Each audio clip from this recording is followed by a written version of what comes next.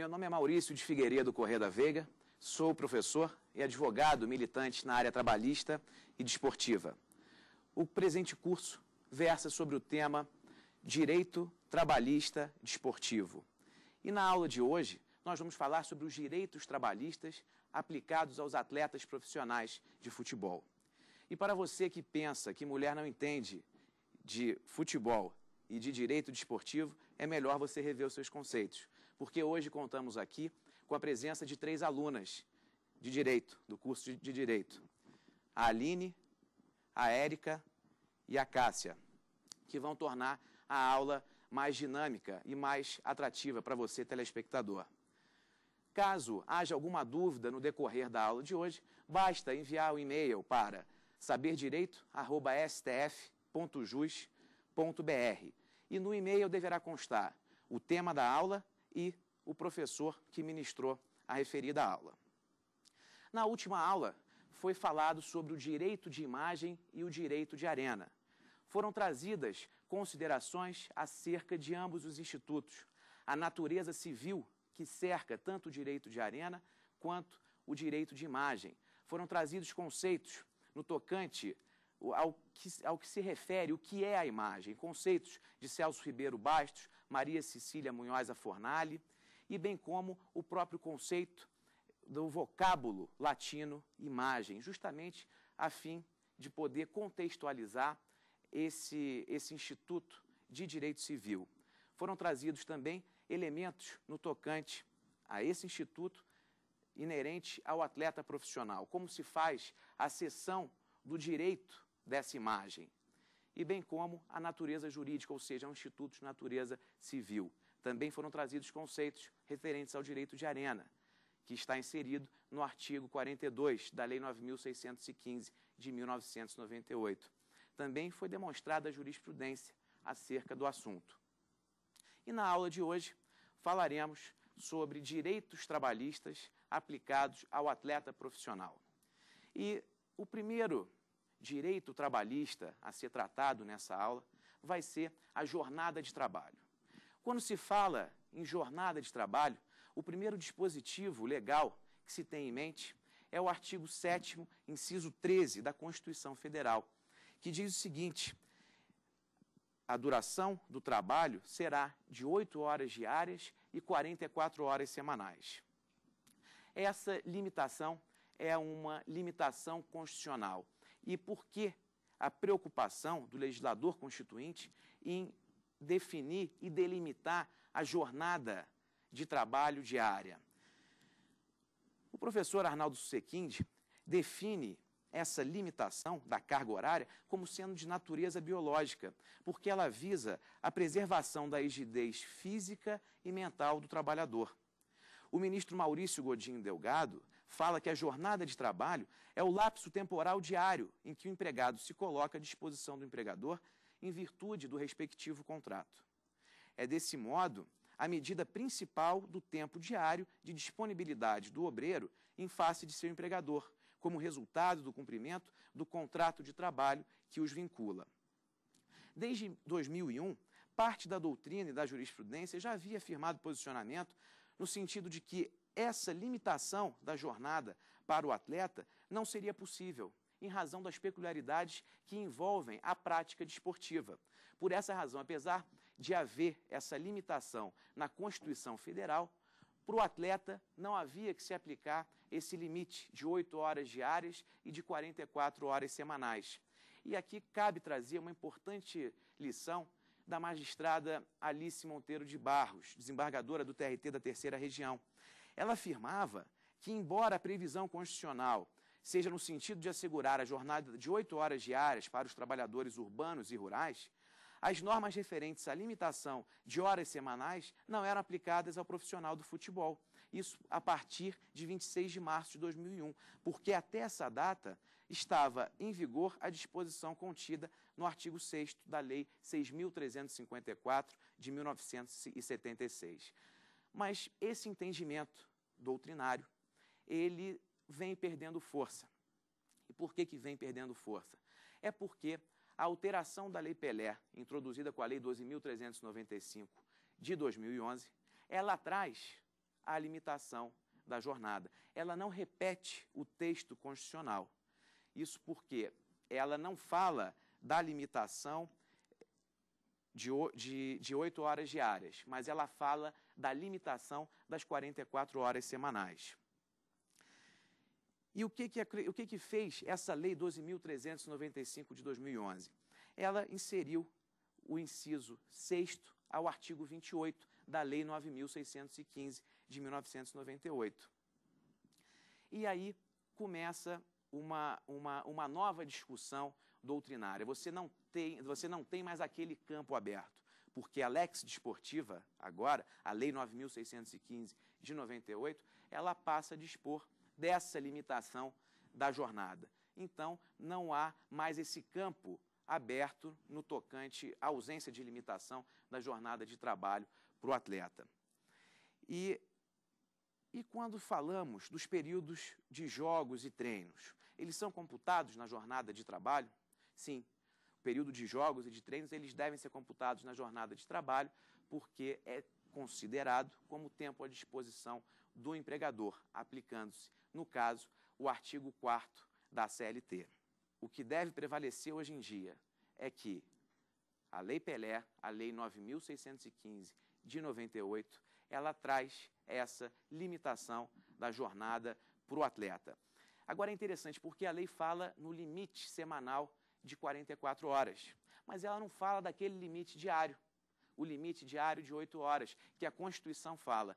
E aí reside uma certa crítica, uma certa polêmica. Por que, que o legislador ele não quis fazer esse limite diário em relação à jornada do atleta? Será que o atleta ele vai jogar sem limitação nenhuma? Será que ele vai ficar à disposição do empregador sem nenhum limite de horário? Não, não é bem isso. Uma parte da, da, da doutrina também é, entende que a medida em que o legislador menciona jornada, jornada quer dizer dia. Então, evidentemente que você teria a limitação do dia. Portanto, a partir do momento em que a lei desportiva traz essa limitação, atualmente deve ser aplicado essa restrição no tocante à jornada de trabalho do atleta. Um outro ponto também interessante e que se trata de um direito trabalhista que é devido ao atleta, ou que pelo menos a princípio é devido, na medida em que também há uma certa controvérsia na doutrina e na jurisprudência, diz respeito ao adicional noturno. Também a, a previsão do pagamento da hora noturna com valor elevado é uma previsão constitucional.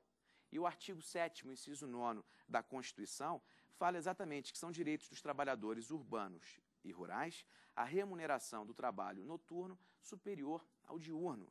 E essa remuneração superior exatamente para inibir e coibir o empregador de colocar aquele funcionário, aquele empregado, em jornada noturna. E a jurisprudência? Como que a jurisprudência se comporta diante desse preceito? É pacífico que o atleta de futebol tem direito ao adicional noturno? Não, não é pacífico. Apesar da Constituição Federal falar que todo trabalhador urbano ou rural tem direito a uma remuneração noturna superior à diurna, é, nós insistimos aqui que, em relação ao atleta profissional, algumas considerações e alguns limites devem ser impostos. E aqui cabe trazer é, dois arestos bem interessantes. O primeiro deles diz o seguinte: é do Tribunal Superior do Trabalho. As condições peculiares do contrato do atleta profissional de futebol não toleram incursão no adicional noturno, em louvor dos critérios universalmente consagrados na exibição profissional do atleta.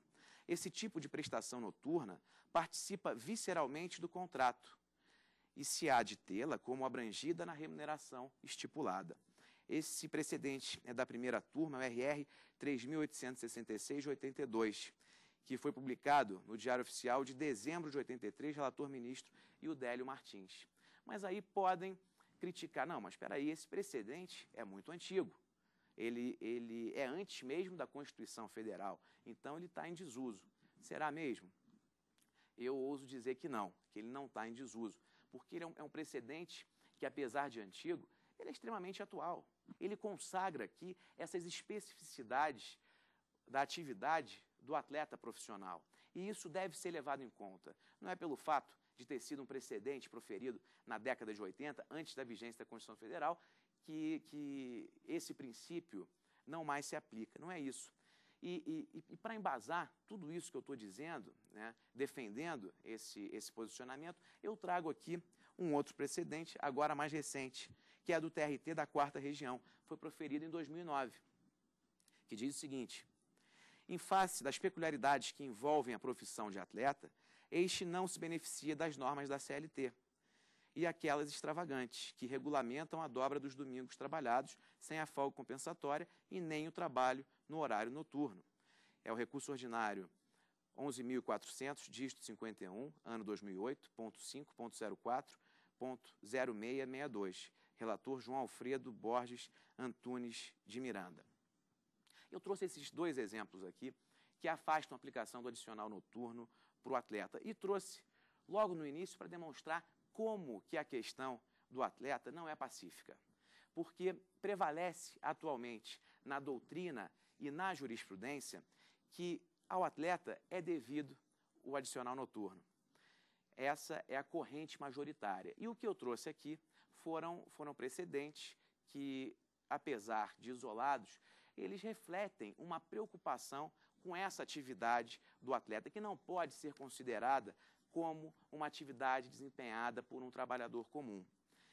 E agora, por que, que parte da, da, da, da corrente doutrinária e jurisprudencial entende que é devido o adicional noturno para o atleta? Justamente pelo fato de que o, o, o, o trabalho em horário noturno ele já está é, é, clinicamente comprovado que ele é prejudicial para a saúde, porque ele provoca uma fadiga excessiva. Então, qual é a ideia? É você erradicar o trabalho noturno. Evidentemente, sabemos que determinadas profissões isso é impossível. E pode-se dizer que, em relação ao atleta profissional de futebol, é, é algo praticamente impossível. Você pode evitar, claro, que, que, que, que o jogador jogue à noite, mas em determinados momentos você não tem como fazer isso, na medida em que você está atrelado a contratos de televisão, enfim, e de outros patrocinadores. Então, claro, você não vai fazer com que o treino seja à noite. Isso pode ser evitado. Agora, você não tem como evitar, em hipótese alguma, que o jogo ocorra no período noturno, exatamente em razão dessas características, em razão é, é, de todo esse essa é, essa gama né, empresarial que, que envolve o, o, atleta profissional, ou seja, todos esses contratos, seja de marketing, merchandising, de, de televisão, enfim, tudo isso está envolvido. Agora, o que parte da doutrina sedimentou é que o atleta também faz jus ao adicional noturno. Isso porque trata-se de um direito constitucionalmente previsto. Mas também já falamos aqui sobre o direito constitucional do trabalho e que nem todos os princípios de direito constitucional são aplicados ao atleta. Portanto, fica a reflexão no tocante ao adicional noturno. É devido ou não é? Bom, independentemente da resposta, tem corrente doutrinária em ambos os sentidos, em, ambos, em ambos os lados.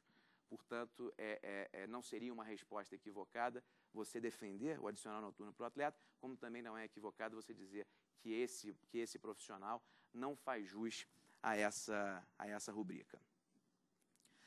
Outro fato também extremamente interessante, outro direito trabalhista do atleta profissional, diz respeito às viagens. É sabido né, que o jogador profissional, seja ele de futebol ou jogador profissional de qualquer outra, outra modalidade, faz parte do contrato de trabalho desse atleta participar de viagens, defendendo o clube, né, defendendo o seu empregador. E aí, o que ocorre nesse período de, de, de, de viagens? É, é, o empregador tem que pagar hora extra em relação a esses períodos?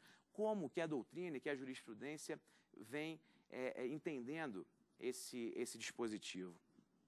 O período em que o atleta está viajando para defender ou representar o clube faz parte do contrato de trabalho. E deve ser ressaltado que esse período ele não é considerado como hora extraordinária, pois trata-se de uma característica peculiar e inerente à profissão do atleta. Portanto, o período de viagem não vai ser é, é, é, considerado como hora extra. E também não há que se falar em pagamento de adicional de transferência no momento em que o atleta está viajando.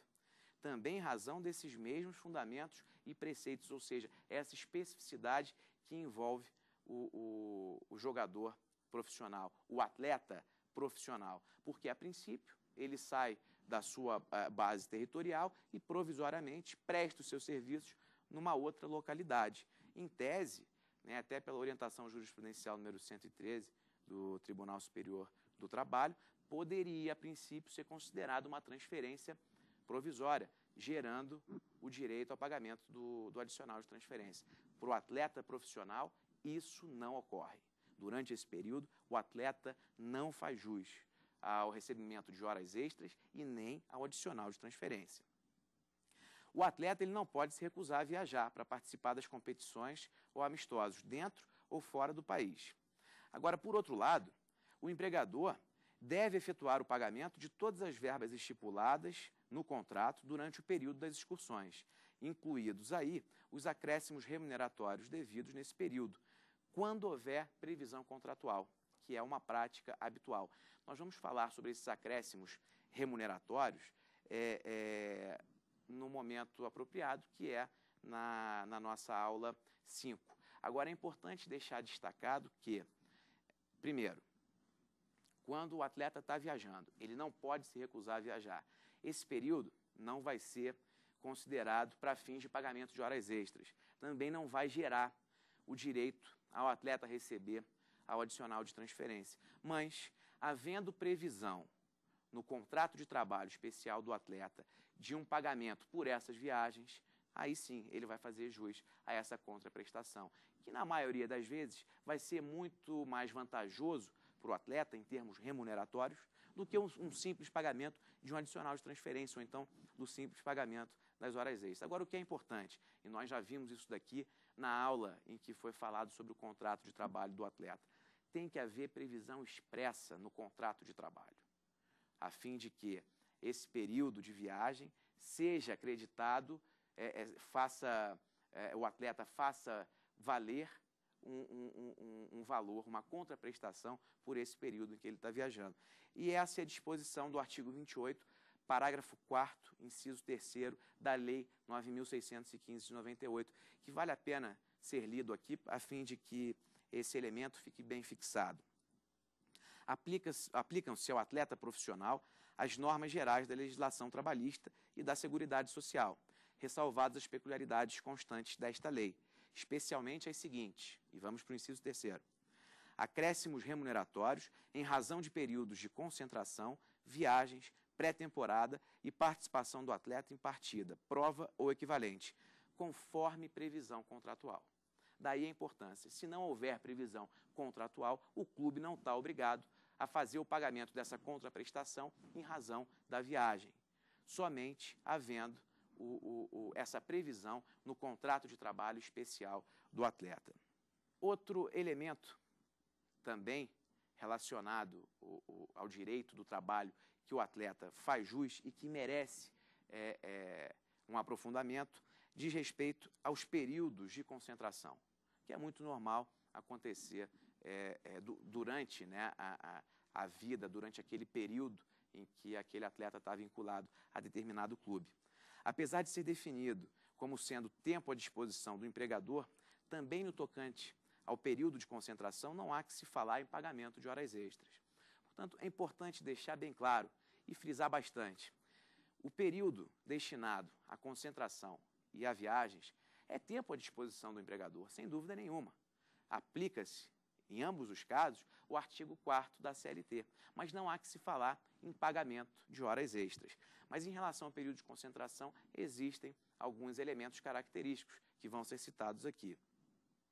O período destinado à concentração é de extrema e fundamental importância, pois se traduz em uma obrigação do atleta inerente ao contrato especial de trabalho, e consiste na permanência do atleta em um local determinado pelo clube, antes da realização de uma partida, com o objetivo de preparar o atleta física e psicologicamente para a disputa.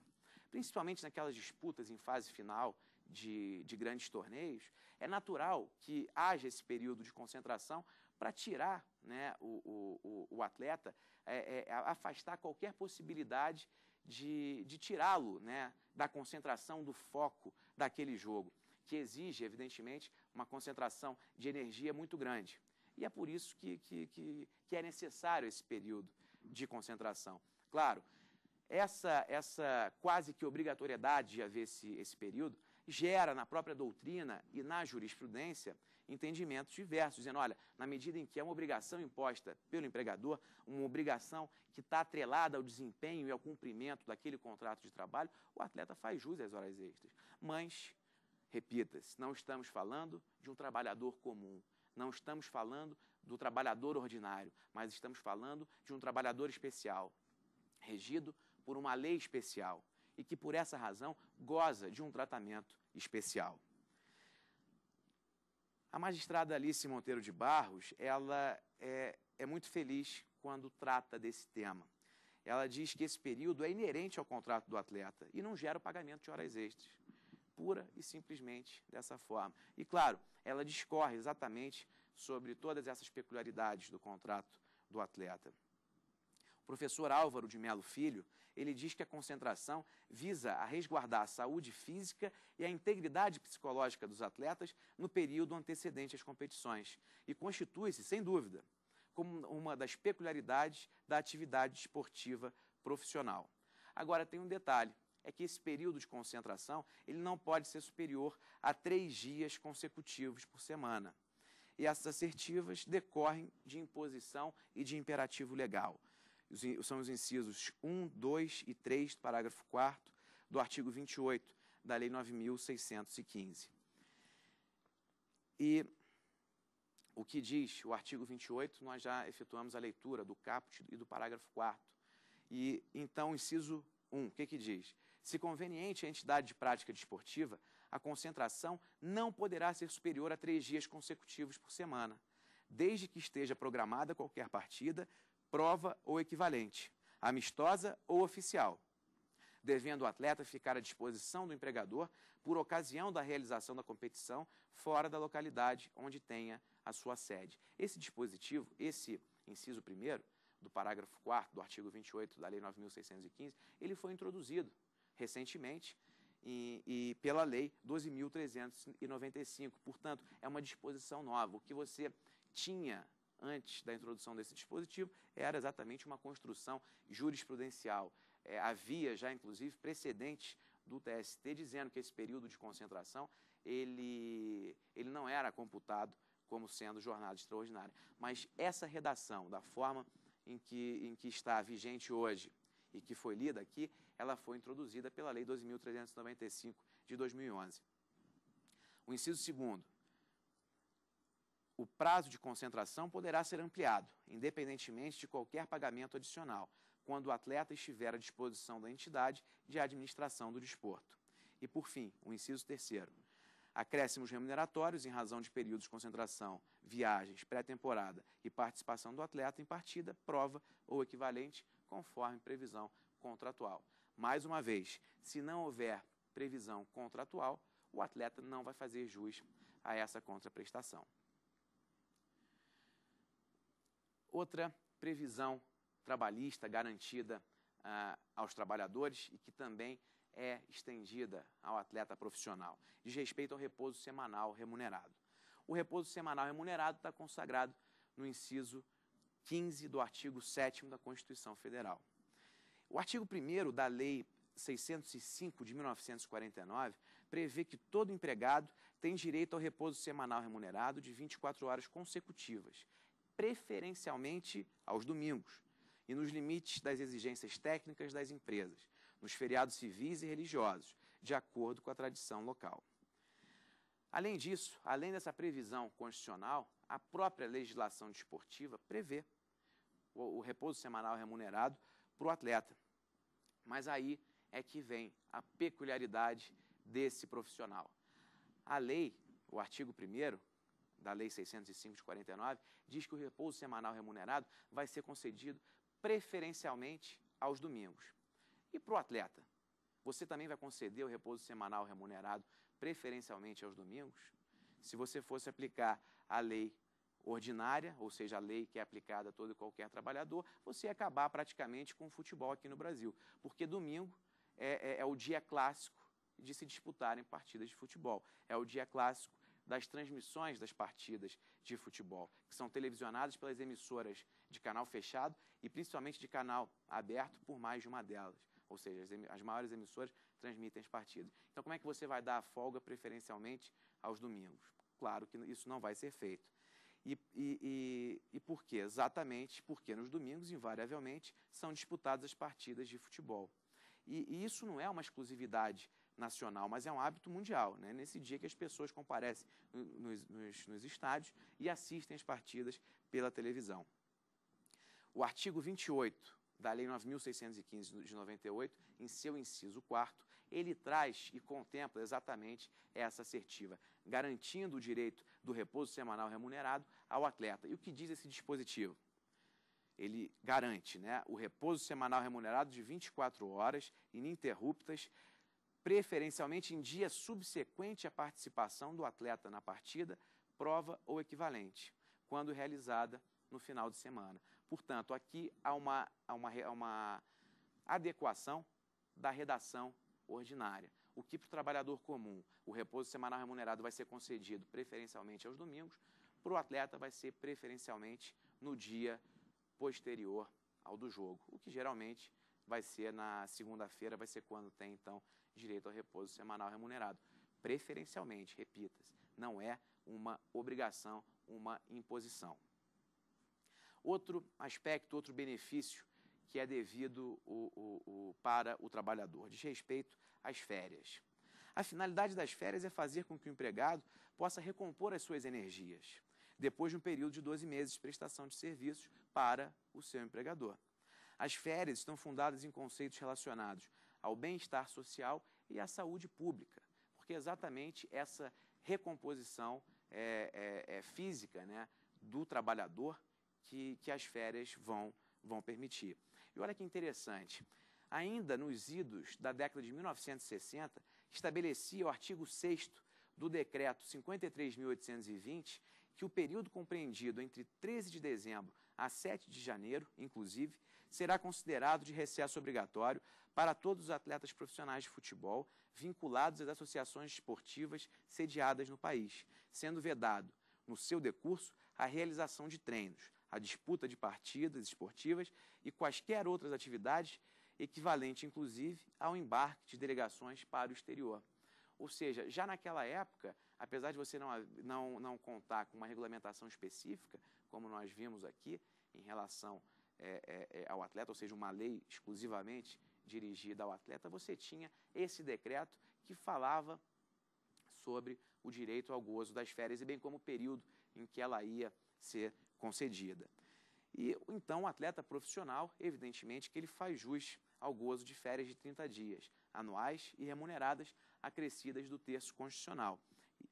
E isso com previsão, inclusive, é, garantida na Lei Pelé, no artigo 28, em seu inciso 5 que garante é, é, é, as férias com o adicional, pagamento, né, o gozo de 30 dias, com o pagamento é, sendo que essas vão ser coincidentes, coincidentes com o recesso das atividades desportivas. E qual é a diferença, então, que se faz entre o gozo é, de férias de um trabalhador comum e do atleta profissional? Será que tem diferença? Nós vamos ver que sim, que tem diferença sim. Primeiro, é indênimo de dúvidas, o atleta faz jus uh, ao gozo e pagamento das férias. Mas a diferença principal é a seguinte: é que no caso do atleta, as férias devem coincidir com o recesso das atividades esportivas, que, via de regra, acontecem entre a segunda metade do mês de dezembro de um ano e a primeira metade de janeiro do ano seguinte. Portanto, não é o empregador que detém a prerrogativa de escolher o período em que o futebol vai gozar férias. Ou seja, o artigo 136 da CLT não é aplicado ao atleta profissional.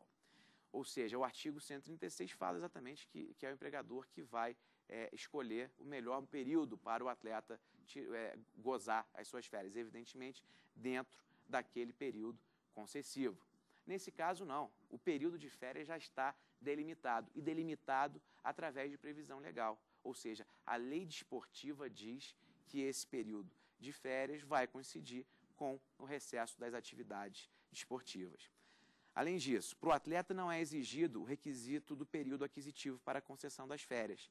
Essas são gozadas em dias corridos e não em dias úteis. E por esse motivo, pouco importa se o atleta teve faltas injustificadas no decorrer do ano. E aqui tem outra questão interessante. Em razão é, dessa construção, você também não tem como aplicar o artigo 130 da CLT para o atleta. O, Outro detalhe interessante, então, dentro disso que estamos falando, mesmo que o atleta tenha sido contratado no meio do ano, ele terá direito aos 30 dias de férias, porque esse vai ser contado a partir do início do, do recesso das atividades desportivas. Também é uma outra peculiaridade do, do atleta em relação ao trabalhador comum.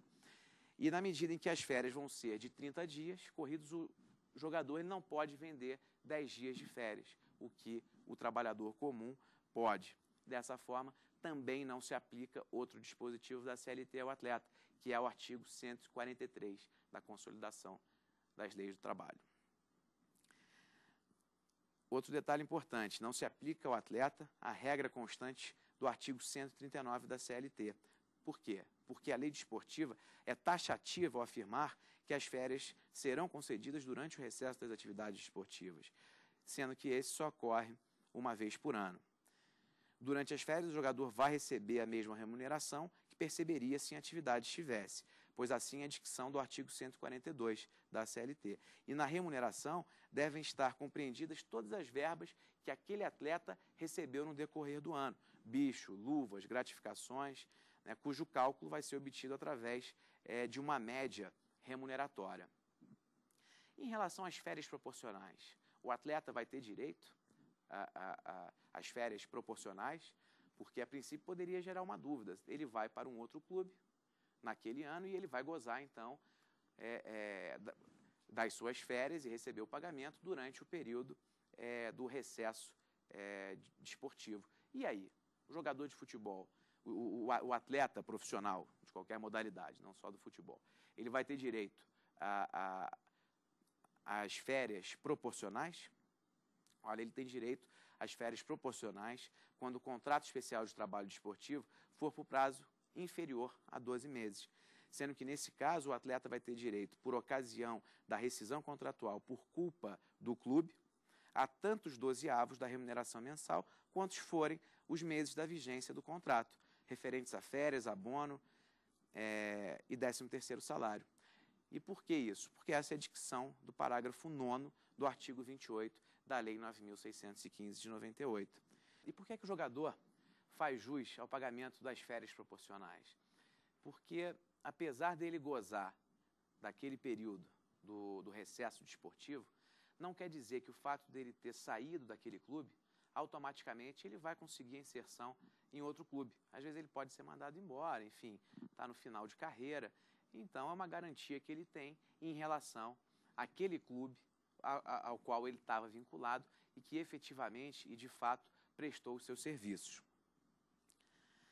Então, as férias proporcionais são devidas até mesmo é, é, na ocorrência dessa hipótese, desse término, porque, desse término da, da, da, relação contratual, porque não há como se garantir que o atleta profissional conseguirá de imediato a recolocação no mercado de trabalho. E por essa razão é aplicável ao atleta a previsão contida no artigo 146 da CLT.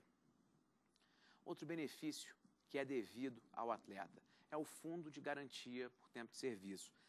E o FGTS ele visa assegurar uma compensação do tempo de serviço prestado pelo empregado. Né? O, professor Otávio Bueno Magano ele diz que o Fundo de Garantia é o conjunto de contas e valores cuja finalidade consiste em assegurar a compensação do tempo de serviço prestado pelo trabalhador a uma ou mais empresas e propiciar recursos do Banco Nacional de Habitação para a realização da política habitacional do governo. O atleta profissional também está abrangido pelo sistema do FGTS, que se assim não fosse, a legislação desportiva necessariamente deveria fazer a ressalva, o que não ocorre. Muito pelo contrário, a lei desportiva garante esse benefício para o atleta. Né? E, inclusive, ela diz que a mora quanto mais, ou seja, o atraso no recolhimento do Fundo de Garantia por Tempo de Serviço, inclusive, enseja a rescisão indireta do contrato de trabalho. E daí porque é, não há dúvidas, o Fundo de Garantia é devido é, é, ao, ao, atleta. Agora, na medida em, em, que o Fundo de Garantia é, é devido, é assegurado ao atleta, e a multa de 40%? Ela também vai ser devida? Particularmente, entendo que a indenização de 40% ela não é devida ao atleta. Antes da nova redação da, da, da Lei Pelé, havia essa dúvida. A multa de 40% é devida ou não ao, ao atleta? Né? E aí você tinha, por exemplo, Eduardo Gabriel Saad, que dizia que era possível a acumulação da indenização de 40% do Fundo de Garantia com a indenização prevista no artigo 479 da CLT, pois essa teria o condão de punir a rescisão contratual por parte do empregador é, rescisão né, do contrato por prazo determinado antes de seu término natural, enquanto que a indenização de 40% puniria a demissão por justa causa. Mas, particularmente, entendemos que, em relação ao atleta, a indenização de 40% não é devida.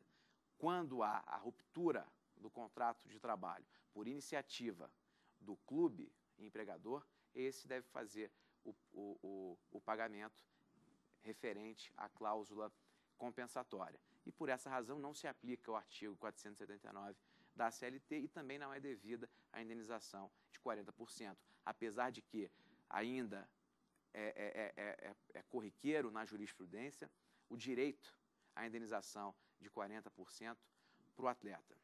Outro elemento constante do contrato de trabalho do atleta, e que se trata de uma obrigação legal, é o seguro acidente de trabalho. O, todo clube ele deve fazer um seguro prevenindo o, o, o acidente de trabalho. E também isso por imposição, por, por imperativo legal. O artigo 45 da Lei 9.615 de 98, ele é taxativo e diz que as entidades de prática desportiva são obrigadas a contratar seguro de vida e de acidentes pessoais, vinculado à atividade desportiva para os atletas profissionais, com o objetivo de cobrir os riscos a que eles estão sujeitos. O parágrafo 1 desse artigo. A importância assegurada deve garantir ao atleta profissional ou ao beneficiário por ele indicado no contrato de seguro o direito à indenização mínima correspondente ao valor anual da remuneração pactuada. Portanto, trata-se de uma obrigação do clube e, portanto, é um direito a que esse atleta tem. E o que tem é, é, acontecido com uma certa frequência é, por exemplo, o clube não faz esse seguro obrigatório. Né? Ele está obrigado a fazer esse seguro por lei. Então, o atleta entra com uma ação trabalhista e pede uma indenização por, pelo fato do clube não ter feito o seguro. Só que no decorrer de todo o período do contrato de trabalho, que vimos que é um contrato por prazo determinado, ele, felizmente, não precisou se, se, se utilizar desse seguro, ou seja, ele não teve é, é, é nenhum dano né, é, que ensejasse o, a utilização do seguro. E, nesse caso, ele vai ter direito a uma indenização pelo fato do empregador não ter feito esse seguro? Olha, era para ter direito sim, mas infelizmente não é dessa forma que a jurisprudência vem entendendo. E de fato, nem poderia ser diferente, porque a lei, apesar de dizer expressamente que é uma obrigação do clube empregador, ela não estabelece nenhuma sanção. O que reside aqui uma crítica em relação a esse dispositivo. E por essa razão, a jurisprudência majoritária do TST tem afastado o pedido de indenização nesse sentido, né, quando o empregado não precisa utilizar desse seguro, desse seguro contra acidente de, de trabalho, exatamente por haver uma falta de uma estipulação legal. Agora, cabe também ao atleta, é difícil, mas tentar colocar isso como uma cláusula penal em seu contrato especial de trabalho. Ou seja, se o clube não cumprir com as determinações, com as obrigações constantes no, no, na Lei 9.615, estará sujeita a uma indenização no valor de tanto, enfim. Agora, de fato, reside aqui uma crítica em relação à Lei 9.615 de 1998, exatamente em razão da ausência né, de, de, de estipulação de uma sanção ou de uma, de uma, de uma multa quando o clube não honra com, com esse compromisso. Em relação ao seguro acidente de trabalho, é importante trazer um, um precedente do Tribunal Superior do Trabalho que diz exatamente que, apesar de haver é, uma, uma estipulação legal para o cumprimento e para a, a celebração desse, desse seguro, ou seja, trata-se de um ônus e de uma obrigação do clube empregador, não há como se, se deferir uma indenização para o atleta quando não é necessária a utilização desse seguro. E nesse sentido, é o precedente número 31.800, ano 2005. Ele foi proferido pela quarta turma do Tribunal Superior do Trabalho e é da lavra da ministra Maria de Assis Calce.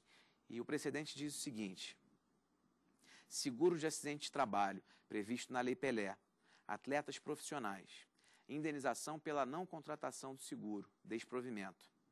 De acordo com o caput do artigo 45 da Lei 9.615 de 98, Lei Pelé, é obrigatória a contratação de seguro de acidentes de trabalho por parte das entidades de prática desportiva em favor dos atletas profissionais que lhe prestam serviço, não havendo, no entanto, previsão de pagamento de indenização pela não contratação do referido seguro.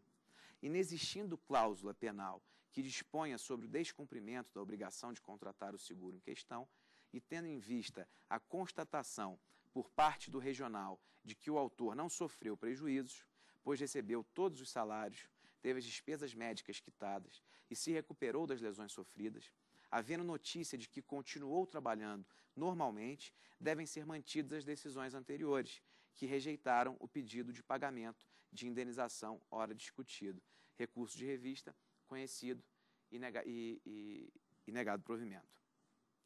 Por essa razão, é, é bem interessante é, destacar aqui essa, essa preocupação do tribunal. De fato, poderia haver, bastaria é, que constasse uma cláusula penal, ou seja, é, é, a estipulação de uma sanção por não cumprimento de uma obrigação. Né?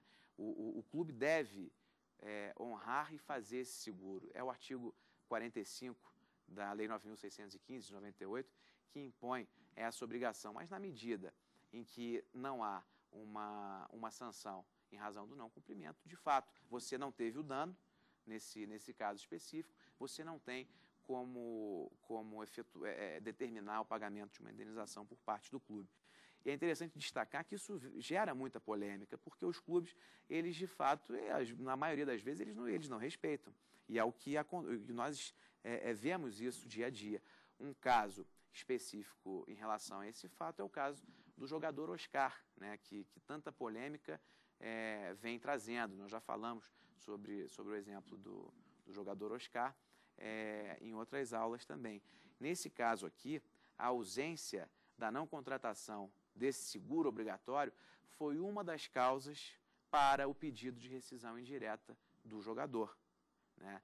e, e que inclusive ensejou o próprio deferimento da tutela antecipada que possibilitou o jogador assinar o seu contrato com o Internacional Futebol Clube. Tanto é que o TRT da segunda região de São Paulo, ao reformar a, a decisão de primeira instância, falou que não havia, no caso, hipótese para é, é, rescisão indireta do contrato de trabalho, porque apesar do seguro acidente ser uma obrigação do empregador, no caso, não teve dano para o empregado, porque ele não precisou utilizar daquele seguro. E, de fato, é uma decisão correta.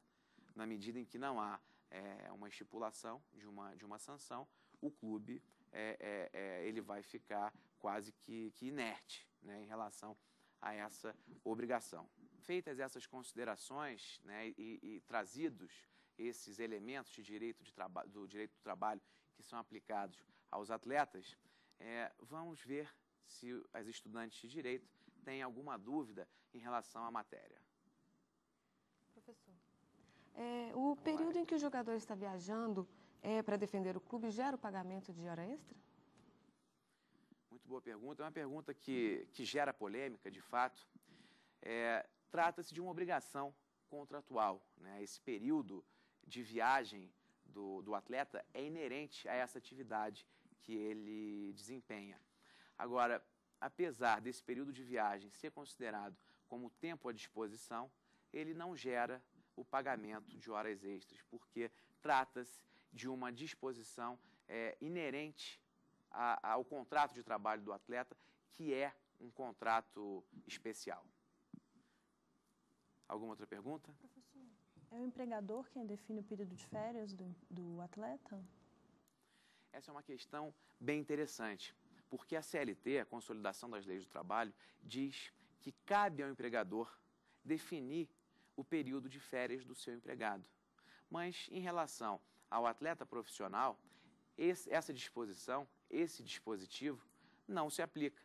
Exatamente porque o período de férias do atleta deve coincidir com o período de recesso da prática desportiva. Então, o empregador não tem escolha.